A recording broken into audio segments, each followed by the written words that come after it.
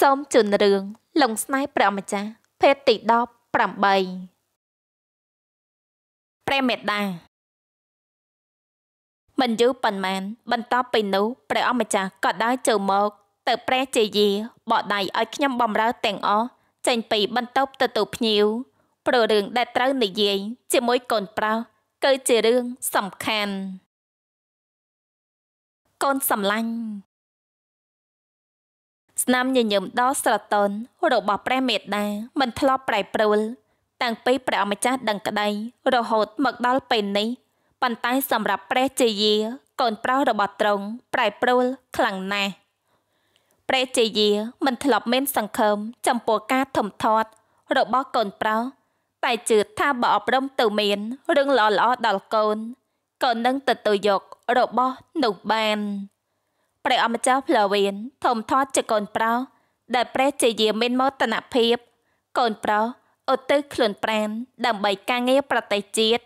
តែសម្រាប់ជីវិតផ្ទាល់ខ្លួនព្រះជាយាត្រូវព្រមទទួលថាវេជាភាពក្រអឺតក្រតោមនៃការរស់នៅ តាមឋានន្តរស័ក្តិបុគ្គលដែលកើតក្នុងត្រកូលខ្ពង់ខ្ពស់ក្នុងប្រទេសដែលនៅតែត្រូវមានការប្រុងប្រយ័ត្នចំពោះពពប្រឆាំង ភាពរឹងមាំនិងខែងរែងជួយការពារប្រជាជន ការសង្គ្រោះមានចិត្តទូលាយ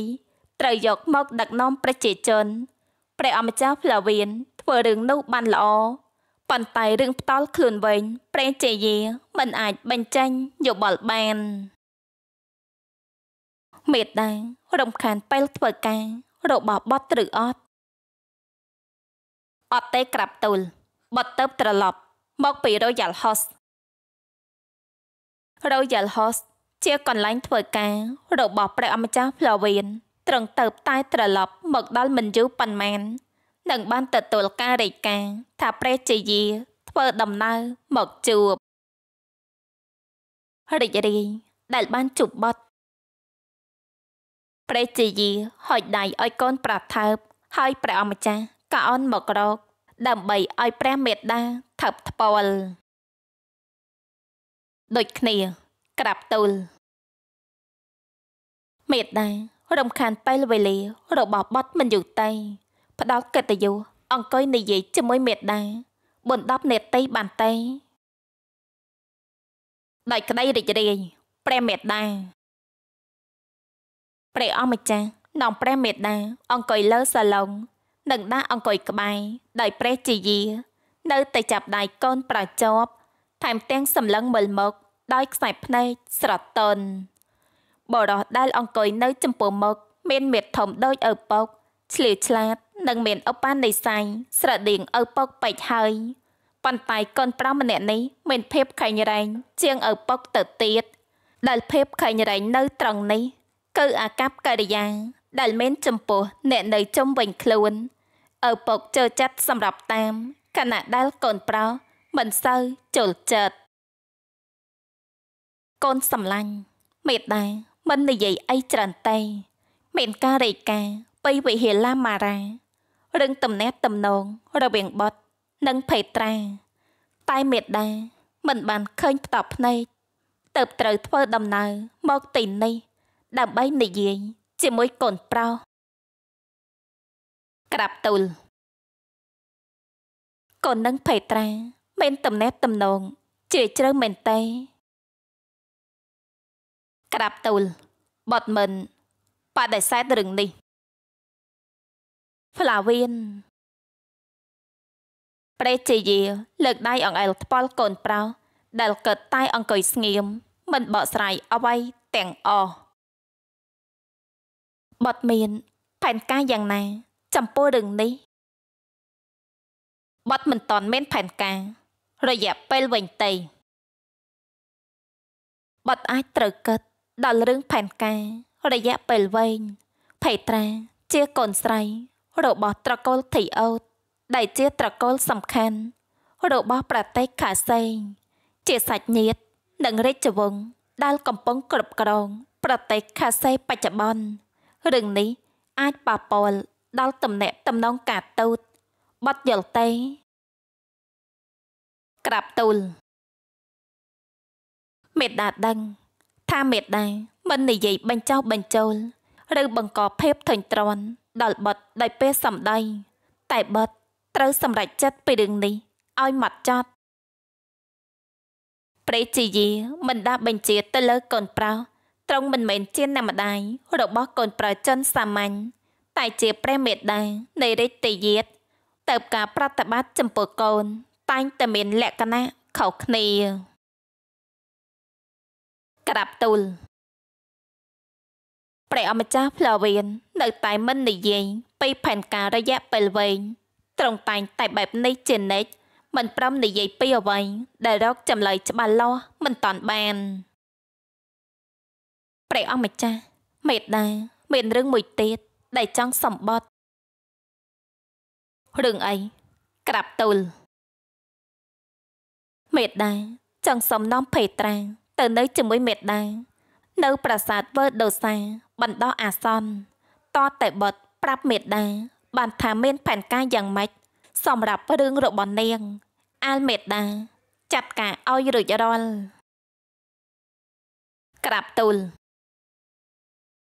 ព្រះអម្ចាស់មិនបានបដិសេធតម្រូវការរបស់ម្ដាយទ្រង់ដឹងថាព្រះជាយា កំពុងសម្របសម្រួលរឿងដែលកើតឡើង ជារឿងរវាងទ្រង់និងភេត្រាប៉ុន្តែបទិញចាត់ទុំទាំងសងខាងមកពេះប៉ុនហើយវេននឹងคล้ายជារឿងធំ ជាងរឿងដែលមនុស្សប្រុសនិងមនុស្សស្រីពីរនាក់មានទំនាក់ទំនងផ្លូវកាយជាមួយគ្នាប្រការពេញចិត្តភេត្រាព្រះមេដាត្រូវការជប់នាងព្រះអម្ចាស់ស្រែកហៅអ្នកដែលឈរនៅមុខបន្ទប់ក៏ដើរចូលមក ហើយធ្វើការគោរពចំពោះព្រះ ជាយាមករកយើងមកភេត្រាព្រះជាយាងើបឈរនិងហុចដៃទៅឲ្យ នាងក៏ងាកទៅមើលព្រះម្ចាស់ពេលឃើញត្រង់ងក់ក្បាល ទៅភៀនដើរទៅរកអ្នកហៅអង្គុយជាមួយយើងមកព្រះអម្ចាស់ត្រូវងើបអង្គុយនៅសឡុងមួយទៀត ដើម្បីຕົកកន្លែងដែលខ្លួនអង្គុយអំបញ្ញមិញឲ្យនាងកំភៃអីព្រះជាយាលងលោមនិងលើកដៃអង្អែលថ្ពាល់របស់នាងហាក់ដូចដឹងថានាង កំពុងតែមានអារម្មណ៍យ៉ាងណា ចំពោះរឿងដែលកើតឡើង ហើយត្រង់ក៏ងាកទៅរកកូនប្រុសដែលនៅតែធ្វើមុខស្មើដោយរូបចម្លាក់ចាប់ពីពេលនេះទៅ នាងត្រូវទៅស្នាក់នៅជាមួយយើងបណ្ដោះអាសន្នព្រោះរឿងរបស់នាង និងព្រះម្ចាស់ផ្លាវីនធ្វើឲ្យយើងត្រូវរកដំណោះស្រាយរួមគ្នាភេត្រាស្រឡង្កាំងនឹងរឿងដែលបានដឹង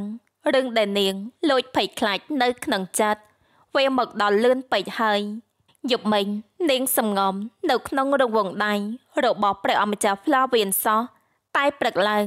នាងត្រូវរឿងមួយទៀត ធ្វើឲ្យស្មារតីរត់ខ្ចាត់ខ្ចាញប៉ុន្តែនាងព្យាយាមស្ងប់ស្ងៀមព្រោះត្រូវរក្សាមេយាទនៅចំពោះមុខព្រះជាយានិងមិនមើលទៅព្រះម្ចាស់ផ្លាវៀនដោយត្រង់មិនមើលមកនាងដូចគ្នា រហូតដល់នាង ត្រូវនាំចេញពីប្រាសាទបាថាសាសូមថ្វាយបង្គំព្រះអង្គម្ចាស់ ភ័យត្រា បន្តិនចង្គង់សម្ដែងការគោរពចំពោះព្រះអម្ចាស់ខាលោម៉ានព្រះបិតារបស់ព្រះម្ចាស់ផ្លាវៀនជាបរិសដែលមានភាពគួរឲ្យកោតក្រែងរស្មីនៃអំណាចសាយភាយចេញពីរាងកាយស័កសមជាអ្នកក្តាប់ក្តាប់អំណាច នៃការគ្រប់គ្រងប្រទេសនាងគឺភេត្រាព្រះពោ ព្រះជាយាចាស្មីនមិនបានដើរទៅរកស្វាមីតែត្រង់ឈរក្បែរភេត្រាព្រោះដឹងថានាងក្រមុំមានការភ័យខ្លាច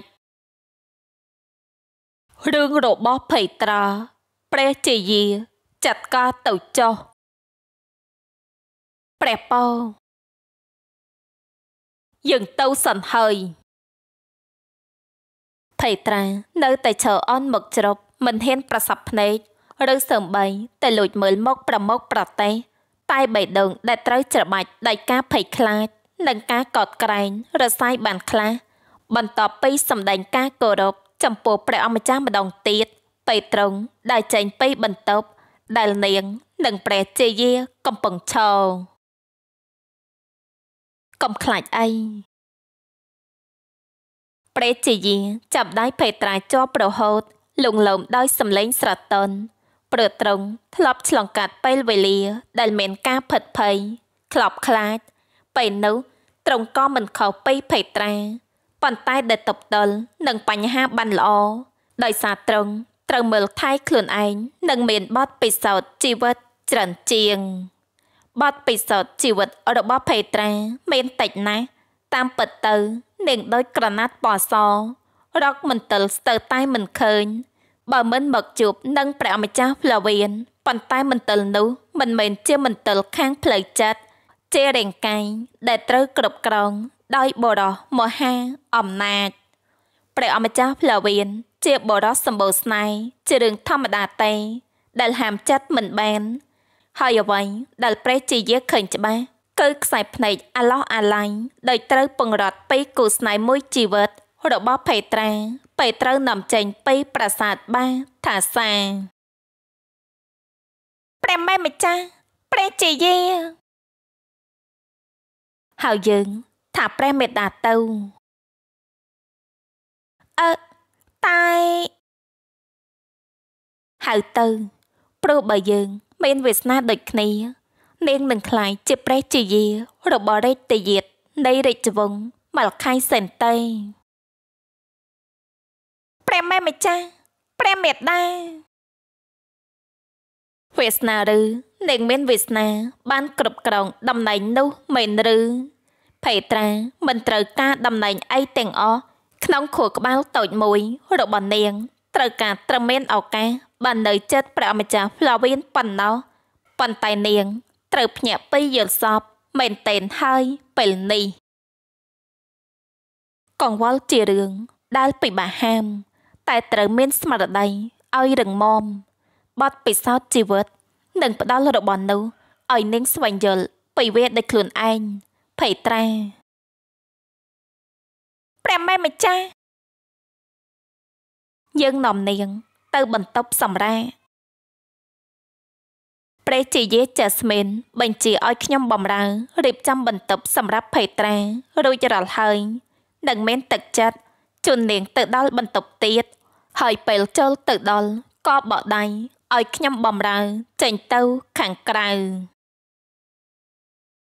យើងអង្គុយនិយាយគ្នាទៅព្រះមេម្ចាស់ព្រះជាយាស្រឡាញ់ចូលចិត្តភ័យត្រាស្រាប់ហើយនឹងធ្លាប់ឃើញច្រើនដងភ័យត្រាសុភាប្រេផ្សាតន់ផ្លិនបែបណា គឺនៅតែបែបនោះមិនប្រែប្រួលព្រោះតែបែបនេះឯង ទៅមនុស្សរឹងដូចថ្មចាប់អារម្មណ៍ដោយសារភេត្រាមានគ្រប់យ៉ាង ដែលផ្ទុយពីព្រះម្ចាស់ផ្លាវៀនក្រមុំតូចមានចិត្តគំនិតទន់ភ្លន់និងបរោះបៃដងដុំថ្ម ភាពល្វត់ល្វន់គួរឲ្យថ្នាក់ថ្នម និងភាពគួរឲ្យកោតក្រែងជោគចិត្តតា តែងតែរៀបចំឲ្យមនុស្សជួប និងរបស់ដែលស័ក្តិសម សម្រាប់ខ្លួនឯងជានិច្ច អាស្រ័យថាមនុស្សអាចស្រវេស្រវាចាប់វាបានឬអត់បន្ទប់នេះនៅប៉ែកម្ខាងទៀតនិងបន្ទប់របស់យើង និងព្រះអម្ចាស់ខាឡូម៉ានដៃរបស់ភេត្រាដែលច្របាច់ដៃរបស់ព្រះជាយាជោគដោយញើសខ្លាចឬព្រះមេម្ចាស់ខ្លាចអី ខ្លាចច្រើនរឿងណាស់ច្របោកច្របល់អស់ហើយនឹងមានអារម្មណ៍ដឹងខុសនឹងខ្លាចបំផុតគឺមិនបានជួបព្រះអម្ចាស់ផ្លាវៀនទៀតព្រះអើយនាងតូចត្រូវតែបានជួបគ្នា បើនាង និងព្រះអម្ចាស់ផ្លាវៀនមិនចោកចិត្តតា ដែលត្រូវជាកូននឹងគ្នាទោះមានអ្វីកើតឡើងក៏ដោយ ត្រូវតែបានរុំរស់នឹងគ្នាដដែល ជារឿងលំបាកណាស់ដែលយើងប្រឆាំងនឹងចោកចិត្តតាព្រះអង្គម្ចាស់ប្រហែលមិនចង់ជប់ខ្ញុំម្ចាស់ទេព្រះមេម្ចាស់ភ័យត្រាកុំយកអារម្មណ៍របស់នាងកាត់ក្តីអារម្មណ៍របស់មនុស្សដែលពិបាកប៉ាន់ស្មានអារម្មណ៍យើងជាម្ដាយផង នៅប៉ានស្មានអារម្មណ៍របស់ Flavin មិនត្រូវគេជាមនុស្សពិសេស ជាមនុស្សនៅក្នុងក្រុមព្រះបិតារបស់គេឬហៅថាក្រុមមនុស្សដែលពិបាកយល់ជាពិសេសកថាបានព្រះជាយានិយាយពីកូនប្រុសដោយសម្លេងស្រទន់ភ័យត្រាស់នៅក្មេងហើយហេតុការលើកនេះ ជាហេតុការធំ ដែលនឹងកែប្រែជីវិតរបស់នាងព្រះម៉ែម្ចាស់ យើងដឹងថានាង ច្របោកច្របល់យើងមិននិយាយគ្នាច្រើនតែឲ្យនាងសម្រាកនិងធ្វើចិត្តឲ្យស្រស់ស្រាយសិនព្រះម៉ែម្ចាស់មិនពេលសម្រាកចង់និយាយពីអារម្មណ៍ដឹងខុសប្រាប់យើងតែចង់ព្រះម៉ែម្ចាស់ភ័យត្រាមើលព្រះជាយាដែលខ្លាយចិត្តទីពឹងពាក់ របស់នាងនាពេលនេះស្នាមញញឹមរបស់ត្រង់ស្រទន់ហើយភាពរួរាយរបស់ត្រង់ក៏ធ្វើឲ្យអារម្មណ៍ខ្វល់ខ្វាយរបស់នាងបានធូរស្រាលខ្ញុំរអៀចាត់ខ្ញុំប្រហែល ធ្វើឲ្យលោកតាខាងខ្លាំងភ័យត្រាយើងមិនអាចធ្វើរឿងត្រឹមត្រូវបានមួយជីវិតទេរឿងខ្លះយើងមើលឃើញថាវាជារឿងខុស តែបើយើង អាចដោះស្រាយបញ្ហារឿងនោះបាន